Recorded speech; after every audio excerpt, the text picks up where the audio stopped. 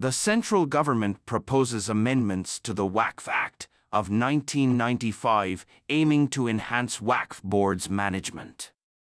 These changes could significantly impact diverse stakeholders.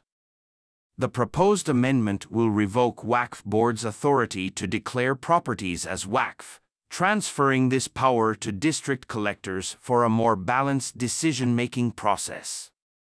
To foster diversity, the amendment mandates the inclusion of two Muslim women and two non-Muslim members on Waqf boards, moving beyond the current all-Muslim male representation.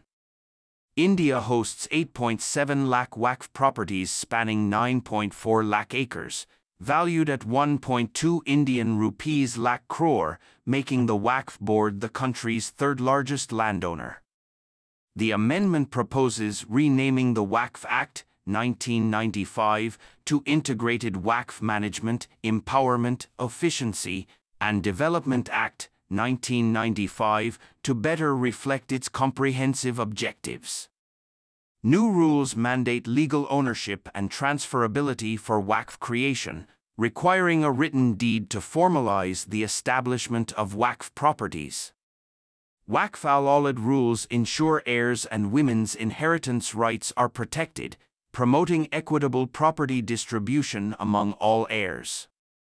Mandatory registration of Waqf properties within six months of the amendment's enactment, along with detailed submissions, will ensure a regularly updated central database. The chief executive officer no longer needs to be Muslim, however, must be at least a joint secretary-level officer, maintaining state government appointment. Amendments ensure representation of Shia, Sunni, and other backward classes, and establish provisions for separate Waqf boards for Bohra and Aga Khani communities. Muslim organizations and opposition parties criticize the amendments as divisive, while the government asserts they address the needs of poor Muslim groups. Expected outcomes include better property management, increased transparency through digital registration, reduced disputes, and inclusive representation bringing fresh perspectives.